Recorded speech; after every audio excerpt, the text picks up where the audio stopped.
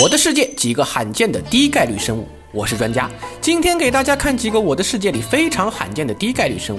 如果你都遇到过了，那你真的是运气爆棚了。而最后一个概率实在是太低了。我们都知道，如果在游戏中扔出鸡蛋，会有百分之十二点五的几率生成一只小鸡，而一个蛋生出三个小鸡的概率则是达到了百分之三点一二五。如果想要一蛋四鸡的情况，这个概率低到了百分之零点三九幺。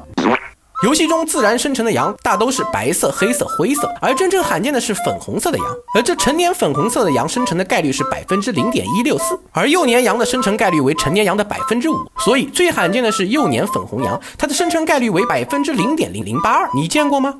说起僵尸啊，是游戏中最常见的怪物，而它生成的时候有一定的概率会穿上皮革和金铠甲。然而，大约有百分之零点零四的几率，它们可以穿上钻石甲，而这个钻石甲有百分之八点五的概率会掉落。你拿到过吗？钻石鸡骑士，也就是在鸡身上骑了一只穿着全套钻石盔甲、手拿附魔剑的幼年僵尸。而在 Java 版中就存在这一生物，而它的生成概率为一点九九二一乘以十的三十五次方分之一，也就是小数点后面差不多七十几个零。而这可以说是 Java 版中最罕见的生物了。你还知道哪些罕见的生物呢？